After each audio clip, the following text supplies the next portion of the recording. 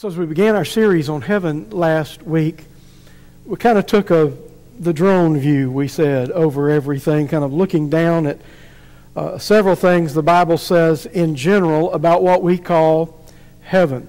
One of the things I want to go back and revisit, and I'll take a moment probably to do this each week that we talk about this, is that it's important for us to fully understand what the Bible teaches about heaven we must fully understand where this concept of heaven falls into God's plan of redemptive history.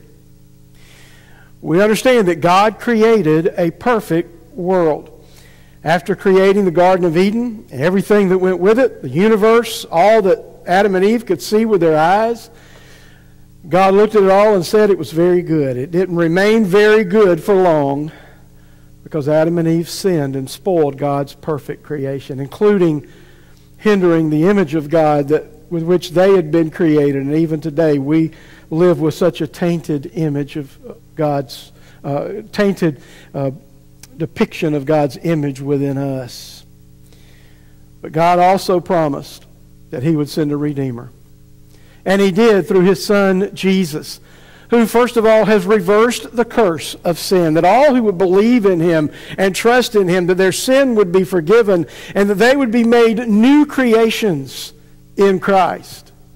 That what sin had destroyed, and what in fallenness, the fallenness with which we were born, that the, the blood of Christ would overcome that and our sin would be forgiven and we would be brought into the kingdom of God and we would be brought in as His children. And He would begin this process of remaking us restoring us. The Bible says if any man is in Christ, he is a new creation. Old things pass away and new things come.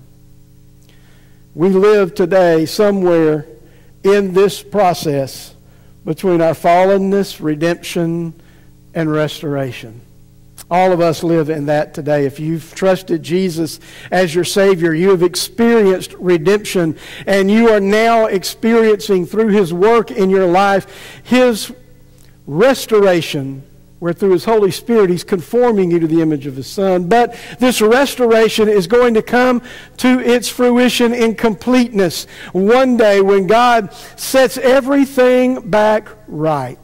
Now, the reason we need to rehearse this constantly and understand this is because if we're not careful, we get the idea that the afterlife is all about us. That God created heaven for us and that God uh, is going to take us all to heaven for us. Dramatic pause. Because that's not entirely the case. God has redeemed and is restoring this fallen world, the Bible tells us, to the praise of His glory. Jesus is the hero of the story, not me.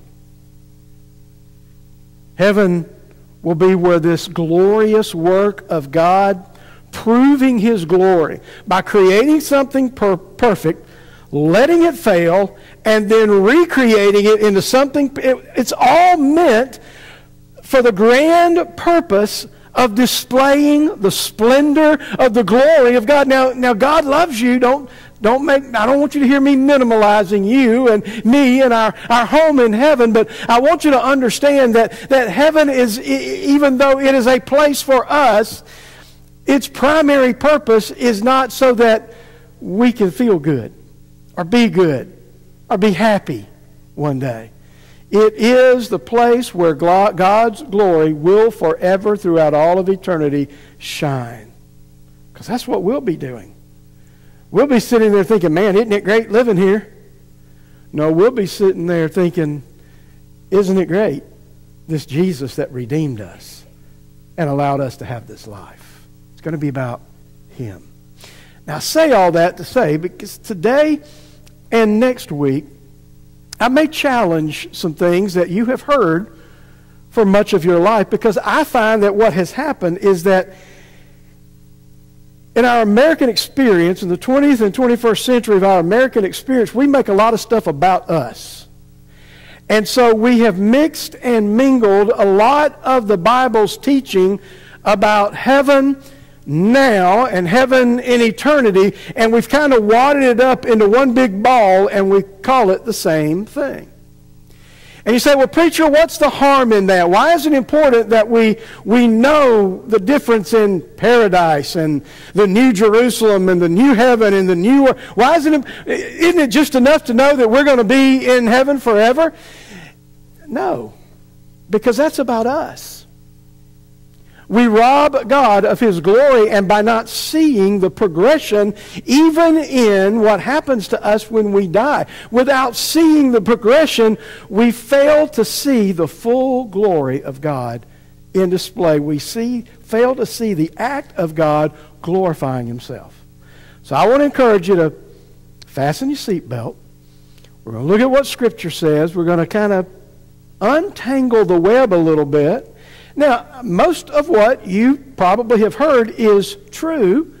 It's just a matter of putting truth in the right place and understanding truth, that truth, in the right context. So uh, you're not going to come out of here thinking, man, I promise you, nobody will leave after this series going, I don't know if I want to go to heaven after all or not. If that's the case, I think we're going to long for heaven even more when we see in truth what the Bible teaches about it. We're going to kind of de earthize heaven a little bit and make it what God intended it to be. But today I want us to talk about what the Bible refers to, what, when Miss Barbara read the scripture for us, very popular scripture of the thieves on either side of Jesus, Jesus telling the one thief, Today you will be with me in paradise. What happens to a believer today when they die?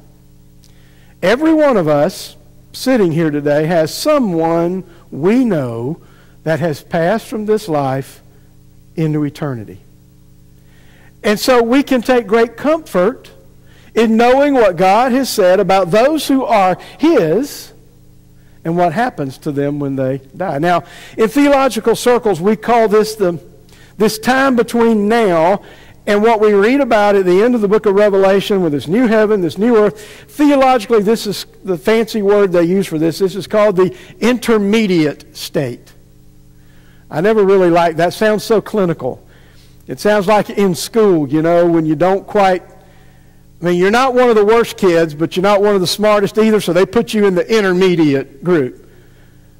It kind of reminds me of one of my favorite Yogi Berra stories. I can't remember who the lady was, but it was a lady who was one of the um, one, of the leading ladies in Great Britain. She was in the she wasn't royalty, but she was like you know a duchess or something like that, and she was pleased to meet Yogi Berra, and she shook his hand and she said, "You're such a warm person."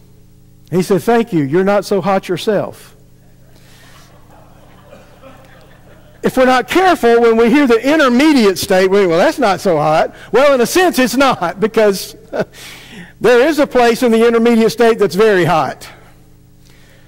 But the place where the believers go is still not quite the glory that we're going to receive when God makes a new heaven and a new earth. So I want us to understand that to see where believers go when they die. The main point we get from this is that when a believer in Jesus dies, he or she immediately enters the presence of God.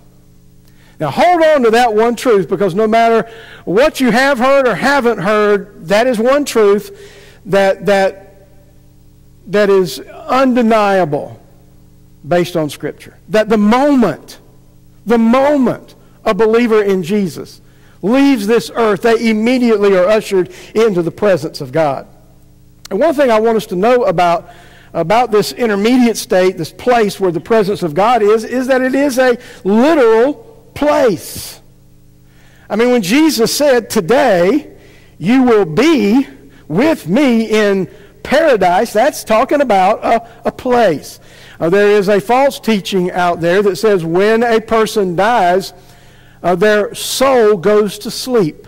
They call it soul sleep and it just exists in a state of unconsciousness until the final resurrection when the soul is awakened and the body is made new and they they then no Jesus said, Today you will not sleep with me in paradise. Today our souls aren't going to lie down in the grave and take a long nap. No, today you will be with me in, in, in a place that had a name. Today you will be with me in paradise. Now, Paul kind of had a quandary. We read about Paul's quandary in Philippians chapter 1, verses 21. Beginning verse 21, he said, For me to live is Christ, and to die is gain. But he goes on to say, if I live in the flesh, that means fruitful labor for me, yet what I'll choose, I, I can't tell you. And he said, I'm hard pressed between the two. My desire is to depart and be with Christ, for that is far better. But to remain in the flesh is more necessary on your account. So he, he had a quandary. There was a place in the presence of Christ that he knew that once he left this earthly existence, that he would immediately be in the presence of Christ. And that was attractive to him. And I, I, I can tell you, I'm with Paul on that. That is an attractive proposition. I don't want to sound morbid like I've got a death wish or anything like that, but I understand what Paul was saying. I love you and I love being with you, but man, being with Jesus is going to be so much better. And he said, I, I, I, I'm, I'm ready to go. If I stay, that's great. God's going to use me, but if I go, I get to be in the presence of Jesus. Now, the New Testament uses two words, two different terms, to describe this place. One is paradise, which we heard him speak uh, to the thief on the cross, but another place where you'll find it is also called Abraham's bosom. And Jesus told a story uh, about a rich man and a poor man. And when the poor man died, he went to a place called Abraham's bosom. We can understand that being the presence of God, being paradise. We're going to look at that in just a moment. But I want us to consider in the time that we have left this morning so, if a believer immediately when they die, they go to this place that's not necessarily forever heaven, it's this presence of God, and you can call it heaven because it, it is that, because it is where God is, this place. What is this place like? What is life in paradise like? What's happening right now in paradise? Now, also understand that in the realm of the dead, and we'll, we'll see this in just a moment in the parable that Jesus tells, there are two places there is this Abraham's bosom, this paradise that is placed in the presence of God.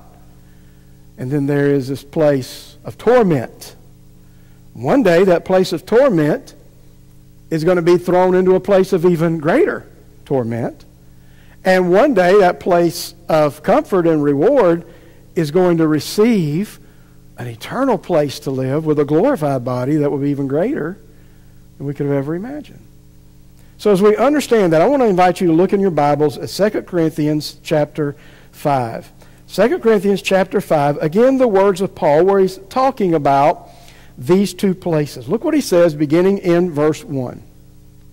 For we know that if the tent, that is our earthly bodies, is destroyed, we have a building from God, a house not made with hands, eternal in the heavens. Now, we talked about this word heaven last week how it can be described. Um, now, where is this place called paradise? In the heavens, we don't know. Uh, it doesn't show up on our GPS. You know, we don't, and God has not told us where this place is. We know that it is a specific place. Uh, it is not a material place. It is not a place that is made of brick and mortar. Uh, it's a place that is made, as he said here, a building from God not made with hands. It is an immaterial place. We understand even now that there is, a, uh, there is an unseen spiritual realm that coexists with this physical universe in which we live. All right, now that, that may be that might have been like a whoa, wait, what? Is the preacher talking about he's seeing things now? Is he hallucinating? No, I said it's unseen. We looked at a couple of passages last week where God allowed Isaiah to see into the throne room of heaven. He had to be allowed to see it. He couldn't see it naturally. We looked at where John uh, was told, Come up here and I'll show you what must take place. And he again was ushered into the throne room of heaven. There was this place that otherwise they would not have allowed to be seen. Paul talked about a man who was taken up into the third heaven. There was a realm that was invisible, a universe that was unseen with human eyes. But one of my favorite stories of this takes place in 2 Kings chapter 6, where the Syrian king is trying to undo and wage war and defeat the, the, uh, the Israelis, the Israel, the northern kingdom. And God speaks through Elisha, the prophet Elisha, quite often, uh, telling the king of Israel, okay, don't make your camp there, don't make your camp there. He basically, God was using Elisha to let the king of Israel know where the king of Israel was going. He was exposing his military secrets. The king of Syria understood that, he was upset. He thought one of his own was a traitor. He said, Tell us, who among us is ratting us out and spying and going and telling the king of Israel what's going on? And they said, It's not us. But there's a prophet named Elisha, and he's telling the king of Israel everything. The king of Syria says, Well, fine, where is this Elisha? They said, He lives in a place called Dothan, not Alabama in Israel, lives in Dothan. So the king of Syria sends a, most of his army. He goes, Fine, we'll put an end to his little trick. Completely surrounds the city of Dothan. So all these Syrian chariots, horses, and soldiers have completely besieged the city. Elisha's servant says, Boss, we got a problem. We're surrounded. There's nowhere to go. Elisha said, No, you don't understand. Those who are for us are more than those who are against us. Go look again. And in the meantime, Elisha prayed, Lord, open his eyes to see. Second time when he went and looked, he saw chariots of fire, great in number, standing at the ready to protect them. And in a miraculous way, Elisha said, Okay, God, strike them with blindness, cause them to be confused. And he did. And the Syrians basically just fumbled all over each other and destroyed each other without Israel being in trouble. That servant was allowed to see inside this realm that normally was unseen. So I believe this paradise is where our invisible souls because they are the immaterial part of us that we cannot see. They, they reside in this realm that is normally unseen to those of us outside of those realm, that realm, those of us that are still trapped inside of a human body. That's what Paul was saying. Um, that, we, that we are longing, though, to put on our heavenly dwelling. This is, we're longing for that time when we'll be in our final state. But here we are in this intermediate state. We die, we immediately go into the presence of Jesus in that state. Our souls exist without our bodies. That's why he's saying we're in a house not made with hands. Look what he says further down. Verse 6 So we are always of good courage, knowing what's out there, knowing where we go when we die now, knowing what our future is. We know that while we are at home in the body, we are away from the Lord. Now, by the way, let me just kind of correct one of the misstatements we make. We say sometimes that Paul said, well, to be absent from the body is to be present with the Lord. He didn't exactly say that in those words. But that quote came about from this passage of Scripture. Paul makes this statement that while we are at home in the body, we are away from the Lord. So it's quite logical to say the opposite then. That when we are absent out of this body, we are at home with Him, and we're home with Him, we're outside of this body. So we exist outside of our physical body. We go to a funeral, we have a graveside service, we put a body in a casket, we lower that casket in the ground, and we say at funerals, He's not here. She's not here, and we're right about that. That's just a shell. That is, as Paul referred to, this, this earthly tent that we live in. Because the soul, the invisible us, has gone on to the presence of Jesus. And we'll receive our perfect bodies at the resurrect, final resurrection. We're longing to put on our heavenly bodies. Verse 8, we are of good courage. We would rather be away from the body and at home with the Lord. So whether we're at home or away, we're going to make it our aim to please Him. So we see that even Paul recognized there was this place. It wasn't quite our permanent place. But there was this place while we are awaiting. And here's what happens. See, why, why then is it, why don't we go ahead and get all of that now? Why, why, why is there this intermediate? Because you understand the plan of God. We are still in this age of redemption and restoration. God is still in the process of saving souls. There are still lost people who will hear the gospel, respond to the gospel, who will be saved. And so once everybody who is going to be saved is saved, then it'll be time for him to come back and open up graves. And so that all the bodies could be resurrected and be reunited with souls. But until then, he's not leaving us just floating around out there in limbo. There is this glorious place in his presence where we go. We call it paradise or Abraham's bosom. Now let me ask you to look, if you would, at Luke chapter 16.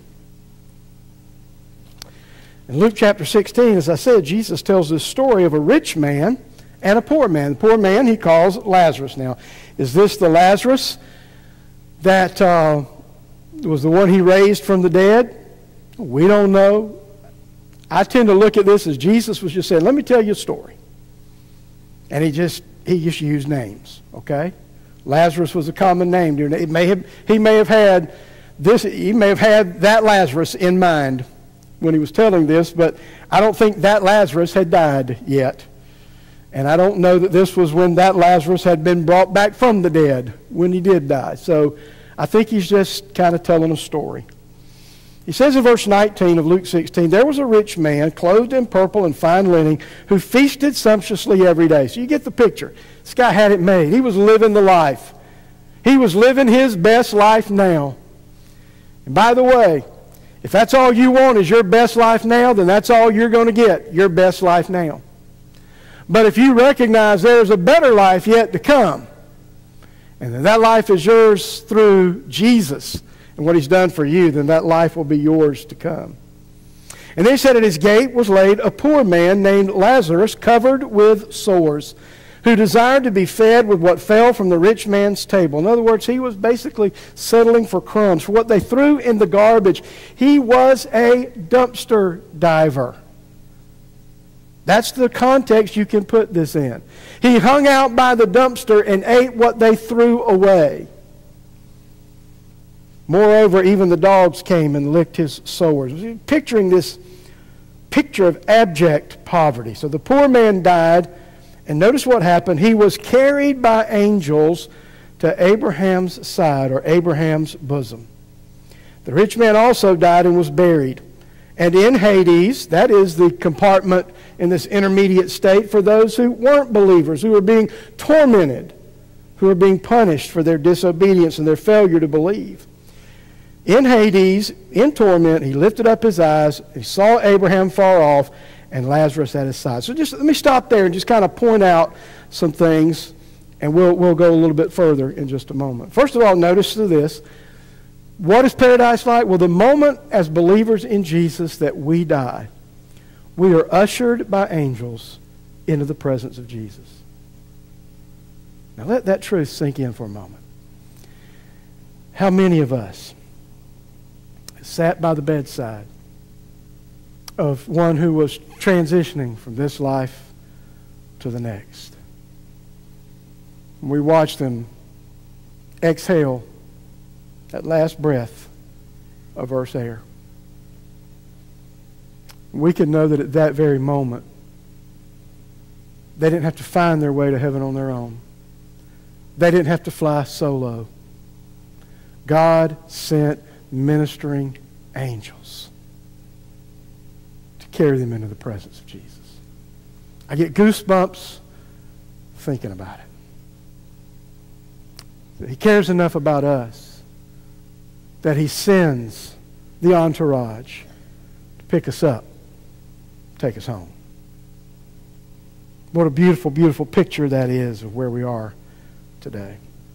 So we're ushered into paradise. Notice that also in paradise there is, shall we say, cognitive awareness. There's not soul sleep, there's conversation happening. There are even people in this invisible realm. One side of the invisible realm can see the other side of the. They're in this invisible uh, existence now. They see each other, and conversation is taking place, and they're recognized. The rich man recognizes Lazarus as that, that dumpster diver that hung out behind his house. I know that guy. I've seen that guy.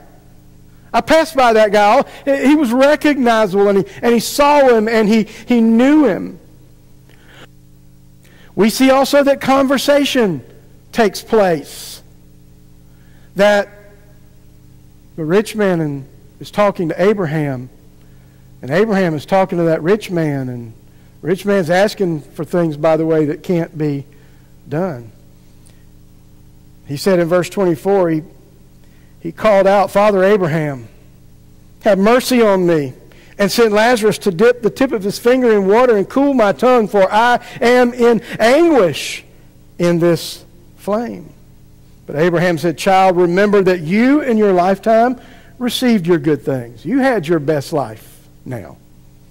Lazarus, in like manner, bad things. But now he is comforted here and you are in anguish. And besides all this, between us and you, a great chasm has been fixed, in order that those who would pass from here to you may not be able, and none may cross from there to us.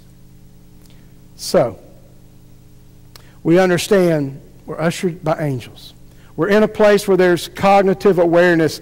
Abraham tells Lazarus, remember. Think about this. Think about what life was like on earth. So I believe there is an awareness. We'll remember what life was like on earth. We're not all of a sudden in this world where we're just in this new dimension and we the, the, the life we once lived is foreign to us. No, he remember. Remember this. In fact, that is part, to me, that's part of the rich man's torment, to remember all those times he passed by Lazarus. It wouldn't help Lazarus, wouldn't do anything for him, and just laughed everything off, thought he had everything made, all the pride that filled his heart, everything about it, that was even part of his torment. Not just the flame that was causing him excruciating pain and causing him to be parched. But on the other hand, Abraham said, Now Lazarus is comforted. I don't know a lot about what we'll think about in paradise. I don't know what, a lot of what those souls who are in the presence of Jesus are thinking about now, but they're aware of their last life. And I, and I will say that their time here on earth, even if it was bad or if it was rough, I won't say they'll forget it, but whatever happened to them, they're comforted now. It is a place of comfort. It is a place of peace. It is a place where whatever was tormenting them on earth no longer torments them in this place in the presence of God place of comfort. But then finally, I want us to see it's a place where our destinies are eternally set. There's a teaching in the Catholic Church of a place called purgatory. Uh, I liken purgatory kind of to a cosmic penalty box. If you watch hockey, you know that if you're not a, a good boy or girl, you get sent to the penalty box. And so the Catholics have this belief that if you were if you weren't in good standing with the church, but you kind of believed in God, and you could go to this little holding place until somebody else prayed enough for you or did enough for you that they would buy your way out of the penalty box and get you into heaven. That's not true. Jesus told this rich man, You are where you are, and you can't get to where we are. And where we are, we can't get to where you are. In other words, your eternal destiny is set. Now, what we'll see as we look forward into heaven in the future next week is that paradise At the end, when all the bodies are resurrected and we receive glorified bodies, then these dismembered, uh, disembodied souls that we have will be reunited with those bodies and we'll enjoy this eternal existence with God forever. But those who were in Hades, those who were in torment, will be reunited with their bodies also. And they will be thrown into a lake of fire and they will forever be tormented in the flame. So as we kind of tie a bow around paradise, I want to kind of just go back and highlight a few things we looked at. And then I want to leave us three suggestions for prepping for paradise. First of all, understand that paradise is a place. It's a place in an unseen realm. We don't know exactly where. I don't know if it's out there beyond the farthest galaxy somewhere or if it's, you know, might be hovering right over us right now. We don't know. But it is a specific place. It's a place where God is. It's a place where throughout Scripture we have, we have seen that God, uh, even though He is unlimited, uh, has always chosen to, in some ways, reveal Himself to people as being in a place that is central to His existence.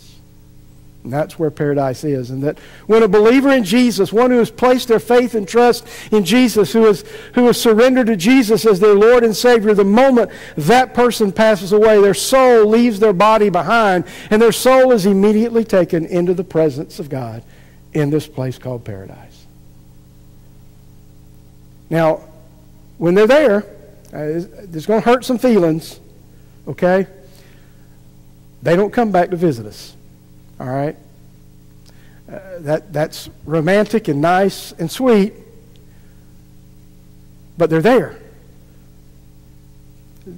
Telling the story, Jesus said there's, they, they don't leave here. They're here. They wouldn't want to leave there. I mean, they're in the presence of Jesus. Why would they want to come back here?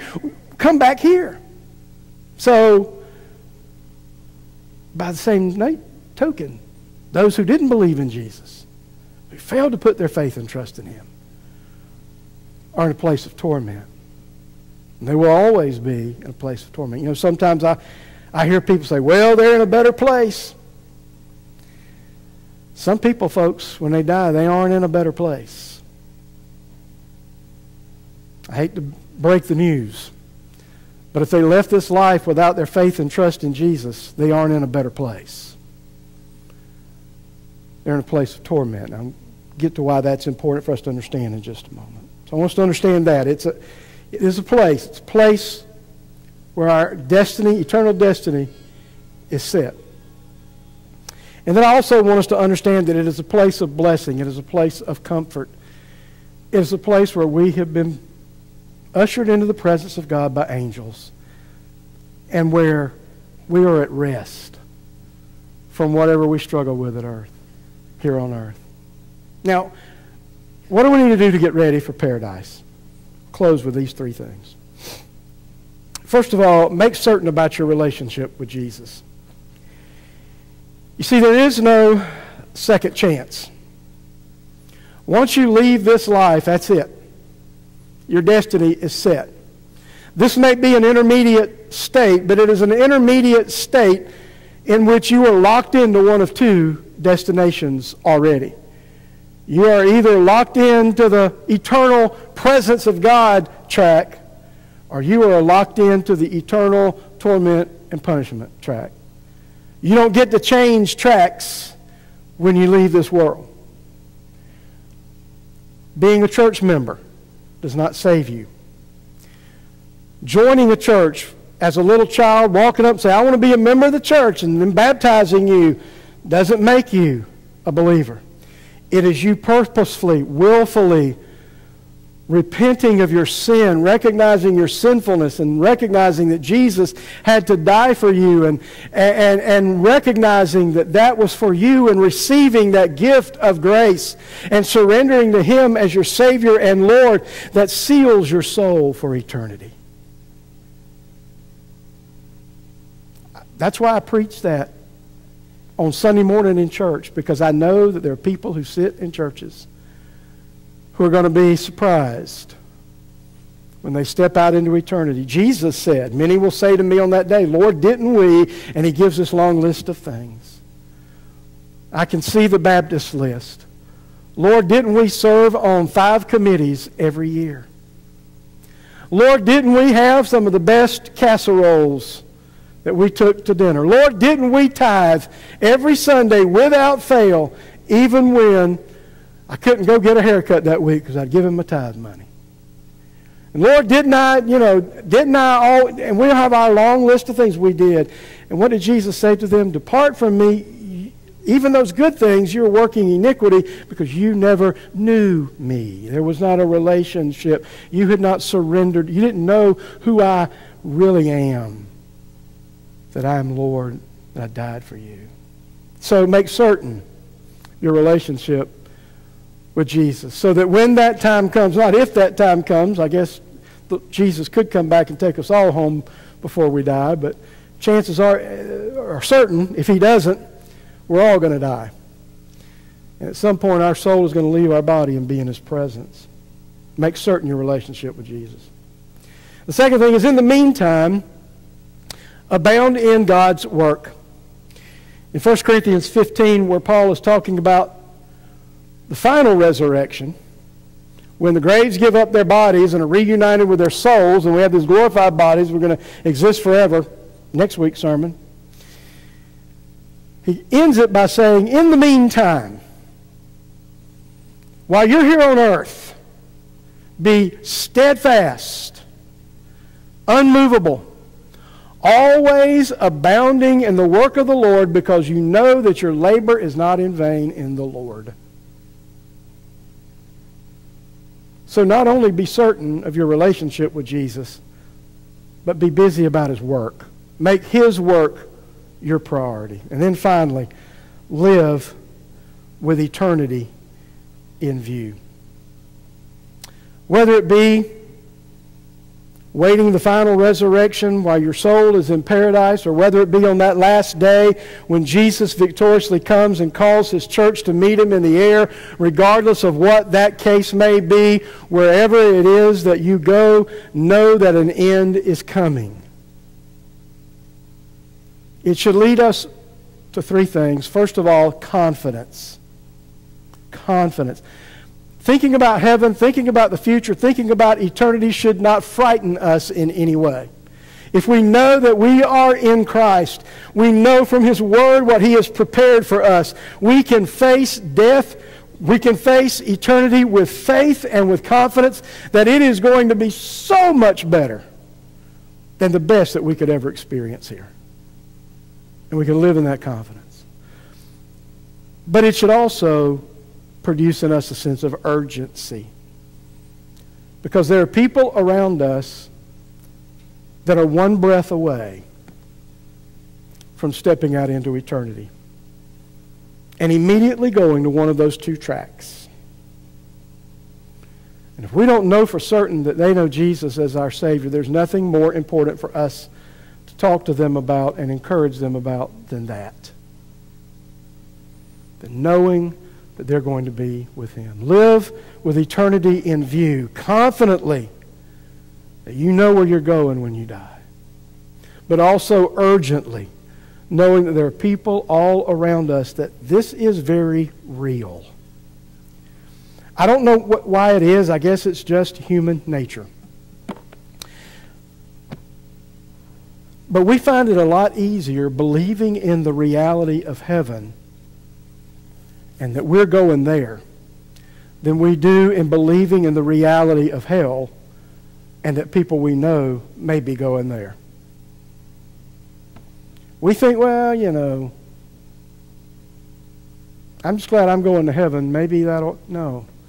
Just as real as paradise is Hades. Just as real as being in the presence of God for eternity is just just as real, is being in torment apart from Him for all of eternity. May we live with priorities in order, with heaven in view, and with our loved ones in our heart and in our mind.